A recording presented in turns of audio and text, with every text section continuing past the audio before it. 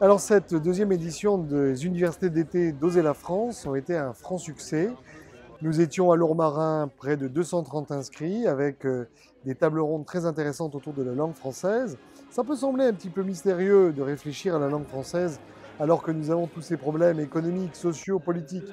Et pourtant, au travers de la première table ronde, il y avait notamment Agnès Steele, François-Xavier Bellamy, euh, nous avons parlé de la langue française à l'école. La deuxième table ronde était-elle consacrée à l'écriture inclusive, à la féminisation euh, du langage, avec euh, un véritable débat entre un pour et un contre, Jean Slamovitz, linguiste, et de l'autre côté Maître Pichot.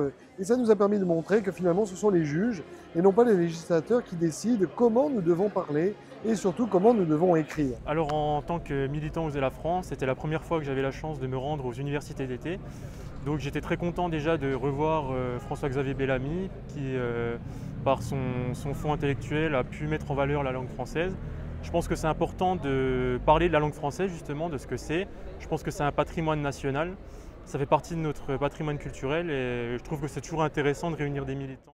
L'après-midi était consacré d'abord à l'Union européenne. On montrait à la fois la régression du français et puis deux visions qui s'affrontaient, ceux qui considéraient qu'on ne pouvait rien faire et ceux qui considéraient qu'au contraire, il y avait peut-être une marge de manœuvre avec le Brexit. Enfin, nous avons eu une quatrième table ronde sur la francophonie qui ont montré euh, les potentialités de l'espace francophone et la nécessité de redéfinir notamment une politique par rapport à la question de l'immigration. Bernard Carayon a ouvert cette journée, je l'ai conclu. Je crois que nous avons tous été extrêmement intéressé par les échanges. J'ai également pu présenter mon ouvrage euh, qui s'appelle Emmanuel le faux prophète et qui est donc sorti en avant-première à ces universités de Lourmarin. Nous sommes déjà euh, extrêmement impatients de l'édition prochaine qui se déroulera dans les mêmes conditions, au même lieu, mais avec un autre sujet. Donc ce que j'ai pensé de ces universités d'été, c'est qu'on a pu avoir un débat intéressant sur la langue française notamment, sur euh, sa capacité de rayonnement, sur les grandes perspectives qu'il fallait tirer pour pour l'avenir, pour continuer justement à préserver euh, comment cette richesse littéraire que l'on possède en France. Et c'est important aujourd'hui, nous aussi, à travers notre génération, à travers les républicains, de défendre ce qui fait un des essentiels de notre, de notre rayonnement et de notre nation. Un grand succès, encore plus de monde. Euh, donc le thème, la francophonie, je pense que ça a réuni énormément de, personnes parce que c'est vrai qu'il faut défendre la langue française, tout le monde en est convaincu. Euh, le niveau intellectuel des intervenants est vraiment, euh, très élevé. Ce matin, il y avait François-Xavier Bellamy qui a, qui a, évidemment remporté un grand succès. Euh, les intervenants de l'après-midi sont tout aussi intéressants.